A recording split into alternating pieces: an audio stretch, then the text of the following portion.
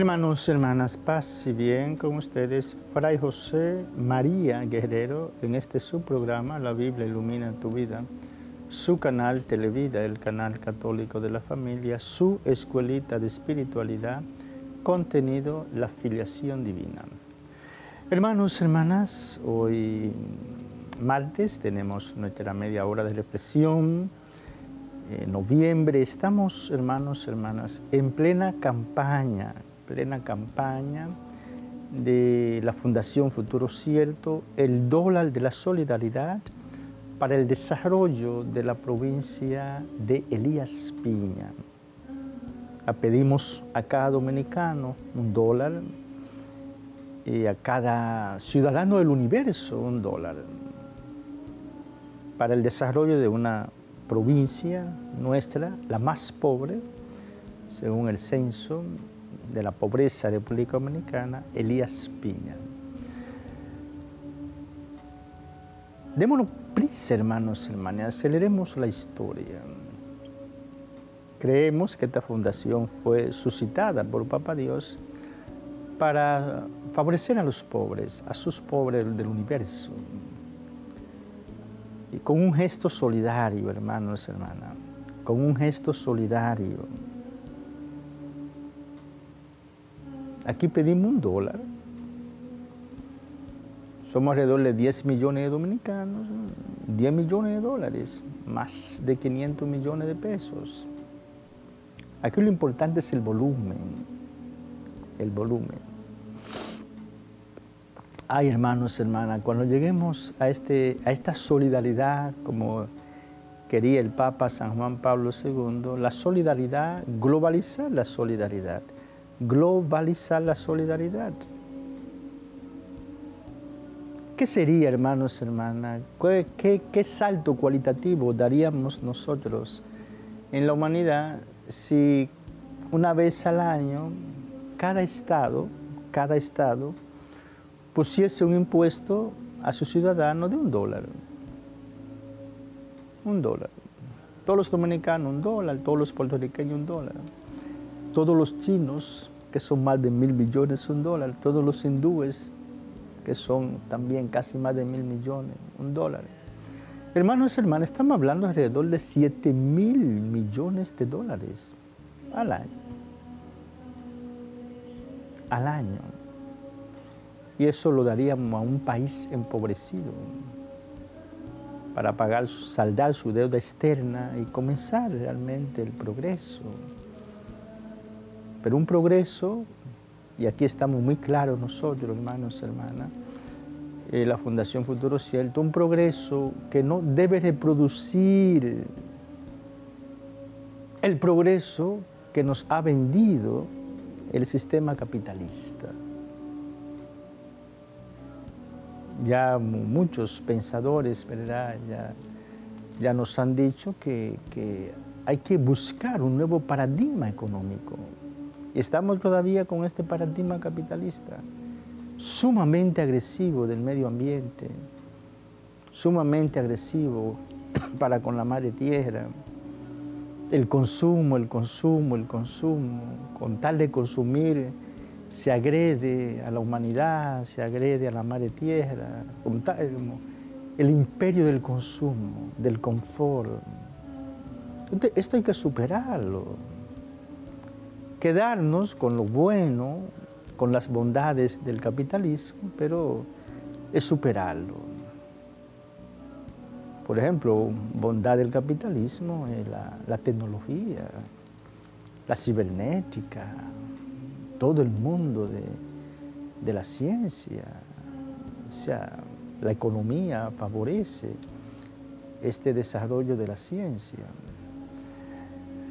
Pero ya, hermanos, hermanas, hay que pensar en un desarrollo donde la madre tierra sea el eje transversal. O sea, ya hay que olvidarse, por ejemplo, de destruir un ecosistema, una hermana montaña, para favorecer el desarrollo de los seres humanos. Jamás. Es una ofensa al Creador. es una ofensa a, la madre tierra. Y es aquí donde los seres humanos nos equivocamos. El creador de la madre tierra, del universo, es Dios. Es Dios. Dios. El arquitecto del universo, el que más sabe. Luego, si el arquitecto del universo pone una montaña, una montaña,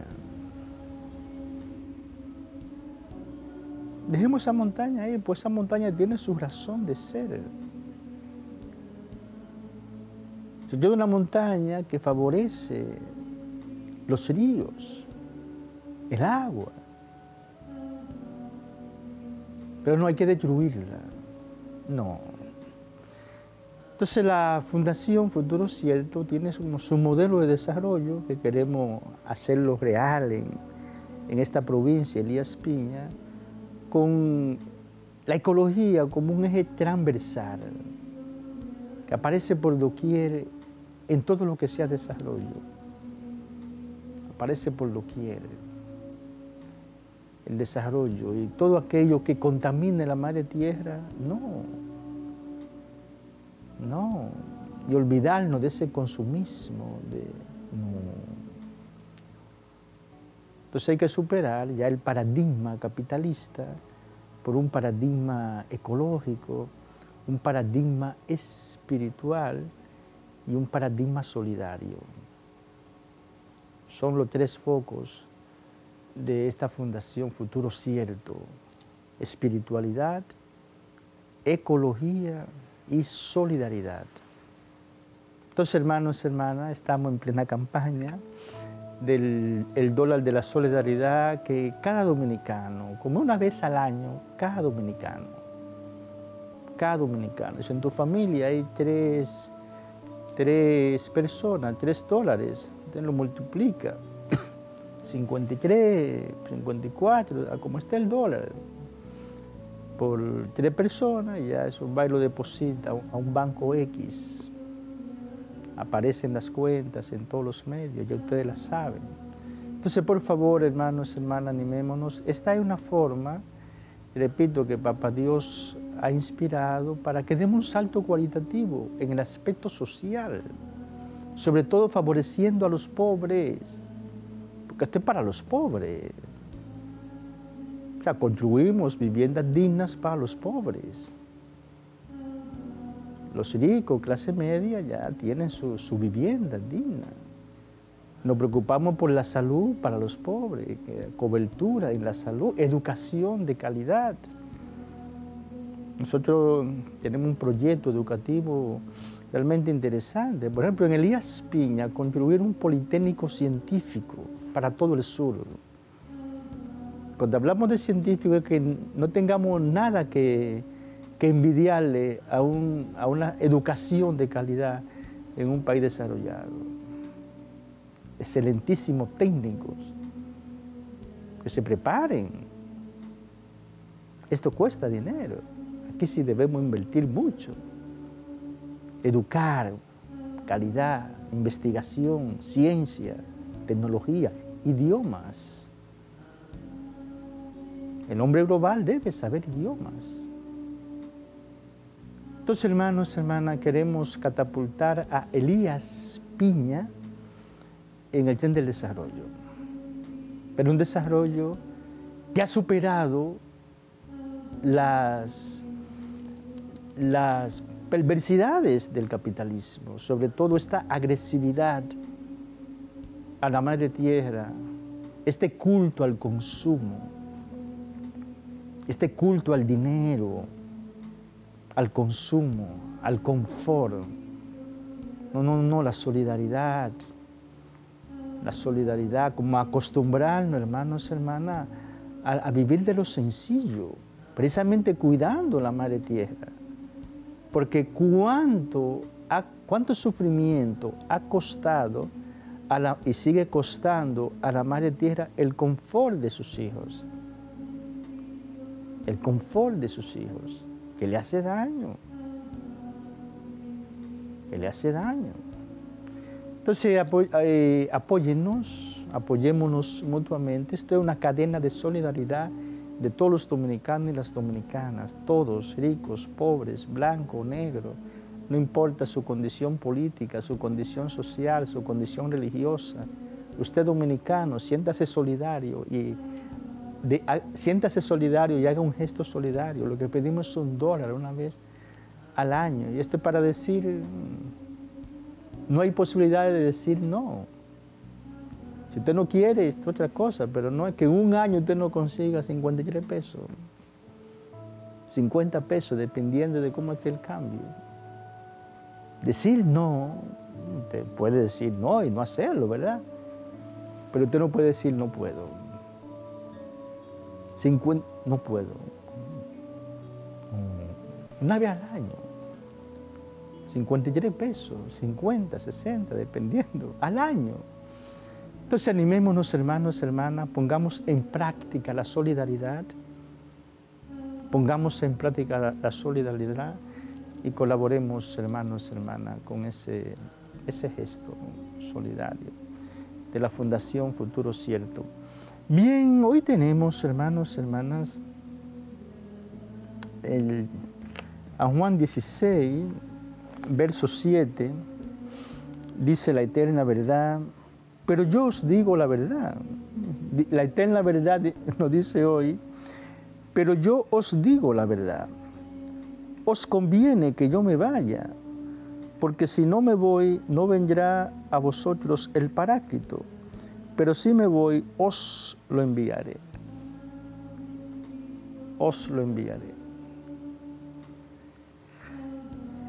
Es decir, hermanos y hermanas, Jesús se va, cumple su misión histórica. este texto hay que entenderlo en la economía de la Trinidad. Como dijo muy bien San Ireneo, el, el, Hijo y el Espíritu Santo son los dos brazos del Padre. El Padre, el autor de todo. Él es quien envía al Hijo y al Espíritu Santo para salvar la humanidad, santificar la humanidad. Si el Hijo viene, cumple su misión y deja al Espíritu Santo que continúe su misión hasta la consumación de la historia. Entonces es importante que el Hijo parta todo se ha cumplido, dirá Jesús en la cruz, todo se ha cumplido. Para que parta, para que venga la segunda persona de la Santísima Trinidad, eh, nos lleve a la plenitud de la verdad y nos santifique, nos santifique el Espíritu Santo, el consolador, el que nos conduce a la plenitud de la verdad. Hagamos, hermanos y hermanas, nuestra oración de la filiación divina.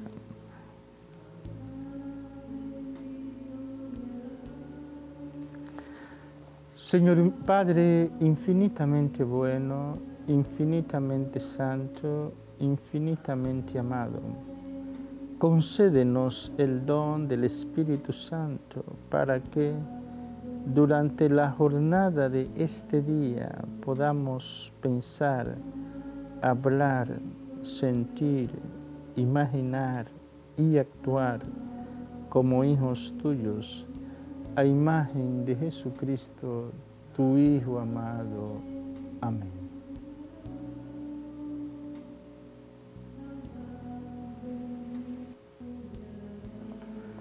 Padre infinitamente bueno, infinitamente santo, infinitamente amado, concédenos el don del Espíritu Santo para que durante la jornada de este día podamos pensar, hablar, sentir, imaginar y actuar como hijos tuyos a imagen de Jesucristo, tu Hijo amado.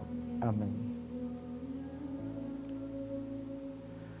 Padre infinitamente bueno, infinitamente santo, infinitamente amado, concédenos el don del Espíritu Santo para que durante la jornada de este día podamos pensar, hablar, sentir, imaginar y actuar como hijos tuyos a imagen de Jesucristo, tu Hijo amado.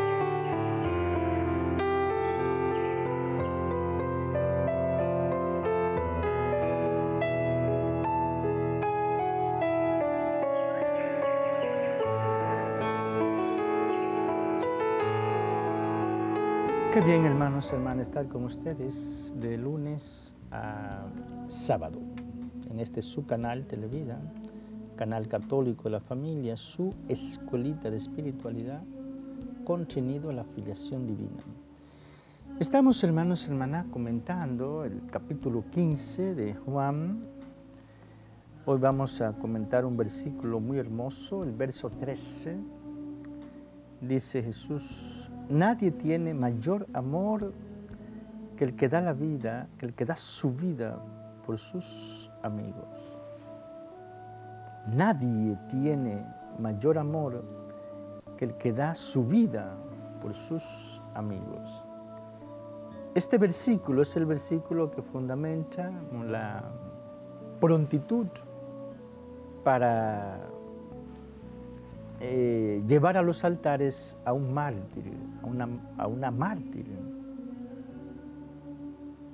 que expresa el mayor amor a Jesús, el mayor amor a Jesús. Ha dado la vida por, por Dios, por su amigo, Dios. Ha dado la vida por sus hermanos, la iglesia. Sí, claro, el mayor amigo es Jesús. Nadie tiene mayor amor que el que da su vida por sus amigos. Jesús da la vida por nosotros. Él dio su vida por, por nosotros. Hermanos, hermanas, eh, la palabra de Dios llega a su plenitud en nosotros cuando la internalizamos.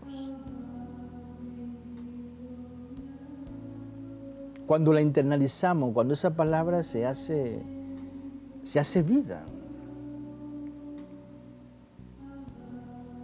O sea, somos nosotros conscientes, plenamente conscientes de esta verdad. Que Jesús dio su vida por mí.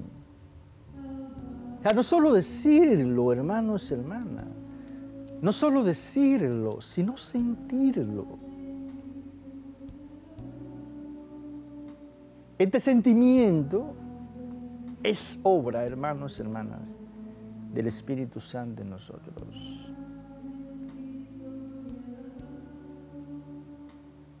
Y aquí donde interviene la, tercera persona, en llevarnos, como luego comentaremos, en Juan 16, 13, Él nos lleva, Él nos lleva a la plenitud de la verdad. Hay que sentir en lo más hondo de nuestro ser eh, esta verdad, vivirla. Jesús dio su vida por mí. Y tenemos a alguien, tenemos a un gran testigo, hermanos, hermanas, un gran testigo que vivió esto.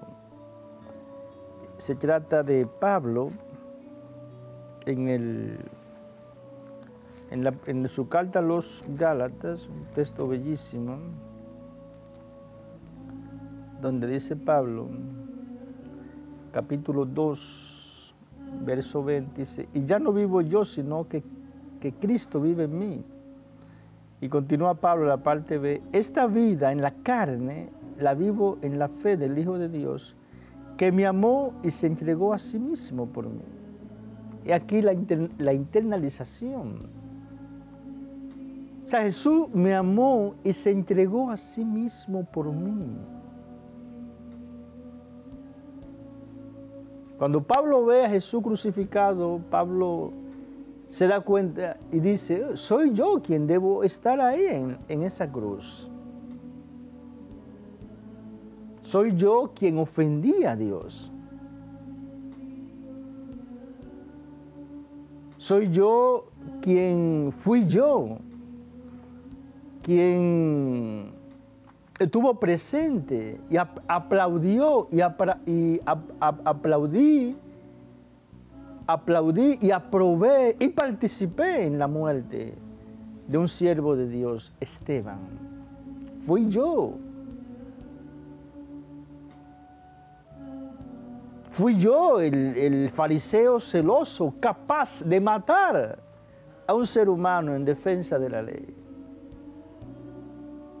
El error de los fanáticos, el gravísimo error de los fanáticos, capaz de matar a un ser humano para observar la ley. Jesús aniquiló todo eso, hermanos, hermanas. Aniquiló todo eso. La ley suprema es el amor. Y el amor no mata a nadie. Por eso Jesús no mató a nadie. Entonces Pablo internaliza el amor de Cristo por Él, amor que se manifiesta en la muerte. Este, este, este, versículo de Pablo, en la parte B, a veces solamente nos quedamos en la parte A. Ya no vivo yo, es Cristo quien vive en mí. La parte B también importantísima. Esta vida en la carne, es decir, mi vida en la cotidianidad, esta vida en la carne, Aquí la carne no es el sentido peyorativo del pecado, sino es la vida cotidiana que todo ser humano vive, la vida política, la vida religiosa, la vida académica, la vida en la casa, en fin, la vida, la carne. La vivo en la fe del Hijo de Dios. Yo tengo fe, creo en el Hijo de Dios que me ha salvado. Creo que el Hijo de Dios es Dios como el Padre que me amó y se entregó a sí mismo por mí. Este Hijo de Dios me amó y se entregó por mí. Esto es, hermanos, hermanas, la internalización de la verdad revelada. La vivencia una verdad que hace efecto. Y es, hermanos, hermanas, nosotros saben cuál es nuestra espiritualidad, es lo que nosotros estamos buscando en la filiación divina. Que el Espíritu Santo internalice en nosotros, hermanos y hermanas, esa verdad. Soy hijo de Dios, soy hijo de Dios. Soy hijo de Dios y peco. Soy hijo de Dios y no confío en Él. Estoy lleno de temores, de miedo. Soy hijo de Dios y tengo una relación con Él sumamente tímida, fría porque no hablo con Él en la oración.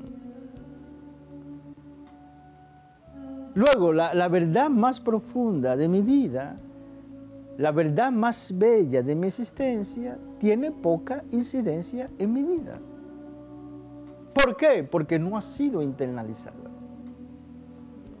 Luego todo hay que pedir al Espíritu Santo que internalice en mí las verdades reveladas. Y para nosotros la más importante, hermanos, hermanas, es en mi, como ser humano, es que yo soy hijo de Dios. Dios me revela mi esencia. Dios me revela mi identidad. Yo soy su hijo. Ahora, ¿tiene incidencia eso en mi vida? Si tuviese incidencia, yo fuese un santo. Si tuviese incidencia, yo danzaría permanentemente en mi existencia en una atmósfera de alegría. Si tuviese incidencia, yo no pecaría. Los hijos de Dios, dice Juan, no pecan. Entonces, hermanos, hermanas, pidamos al Espíritu Santo que internalice en nosotros la verdad revelada. Jesús nos ha dicho en Juan 16, 15, 15 el texto que, hemos, que estamos analizando, que,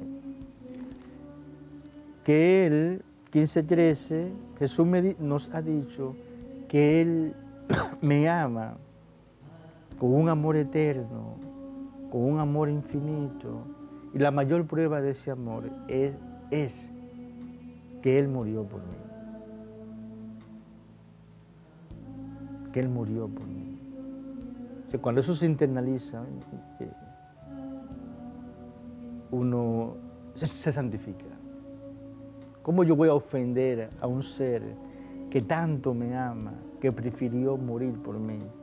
¿Y qué, y qué tipo de muerte? Pues no fue una muerte natural, fue una muerte violenta. Entonces, cuando yo internalizo eso, yo lo pensaría 70 veces 7 antes de ofender a ese ser que es Dios y que es un ser humano, Jesús. Dios te salve María, llena eres de gracia, el Señor es contigo, bendita eres entre todas las mujeres, bendito es el fruto de tu vientre Jesús.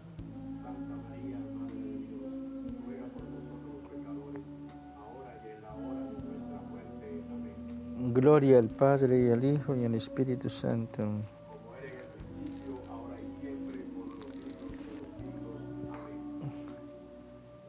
Jesús, eres el Hijo del Dios vivo, eres el buen samaritano que nunca pasa de largo ante una necesidad humana. Te suplicamos, por la intercesión de María Santísima de San José, que tú pongas en cada televidente, en cada miembro de su familia, el vino que tú sabes hace falta. Tú que vives y reinas por los siglos de los siglos. Jesús, en ti confío. Jesús, en ti confío. Jesús, en ti confío.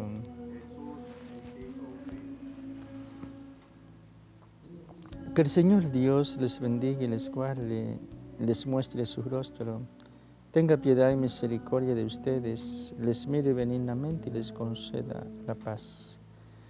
El Dios que bendijo a Abraham, a Isaac y a Jacob y las obras de sus manos, y el Dios que bendijo a la santa mujer, Sara, Rebeca, Raquel y las obras de sus manos, nunca parte de ustedes su bendición paterna. Y la bendición de Dios Todopoderoso, Padre, Hijo, Espíritu Santo, descienda sobre ustedes, su familia, trabajo, proyectos y permanezca para siempre. Amén. Paz y bien, hermanos y hermanas.